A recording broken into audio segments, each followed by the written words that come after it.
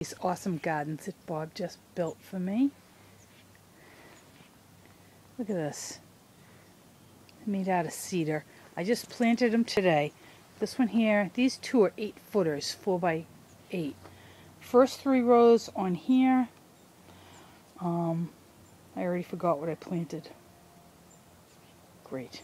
Well, the next one is parsnips. Oh, I know. It's carrots. I have three rows of carrots, parsnips. Um, there's two rows of kale. Um, and then there's cabbage in here and uh, fennel right there. And you can see the uh, watering stuff that Bob put in these tubes, um, which are incredible. They just water the whole garden, keep everything uh, really nice. Over here, I've got um, a couple rows of peas.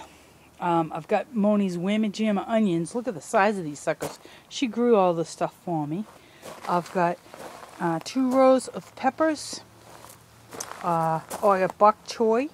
Got a couple rows of bok choy. And then I have uh, leaf lettuce.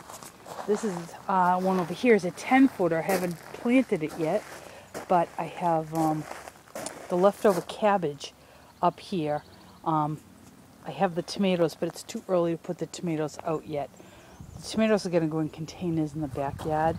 But I think I'm going to put, um, I have all kinds of different kinds of green beans, and I think I'm going to put them in here. It's amazing. Well, I've got a whole truck of compost. The whole yard's a nightmare. Um, I have all this wood left to pile, like six more cord left to pile. There's the, the stone that we're using, and then there's another thing of topsoil over there.